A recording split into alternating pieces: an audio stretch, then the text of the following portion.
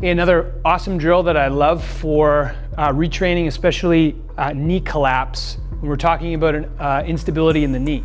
So what you're gonna do is you're gonna take a pretty light gauge band here and you're gonna attach it to something beside you like this. All right, let's say for example, my left knee is caving in with my squat, okay, or it's caving in um, when I'm doing, um, sorry, when I'm doing um, a lunge like so, okay?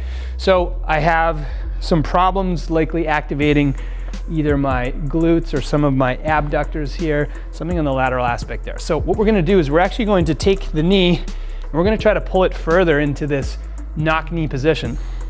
This is gonna force me to use some of those abductors and glute and hip elements there to help keep me more stable. So what we're gonna do is we're gonna create the desired tension of how much we wanna pull the leg inwards. We don't need a whole lot. What we're gonna do is we're gonna do reverse lunges.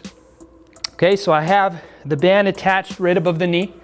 Okay, and what I'm gonna do is try to really think and keep my knee straight over top of my ankle to not allow it to pull inwards. And what I'm gonna do, keeping this nice and stable, is I'm gonna very slowly do a reverse lunge. See how I got the knee stacked over the toes? Right like that, okay? We're gonna go back and forth just like so. Now you can also make this a little bit more difficult by applying load as well. So you can also grab some dumbbells, okay, by your sides. You could also do this in a front rack position, like so.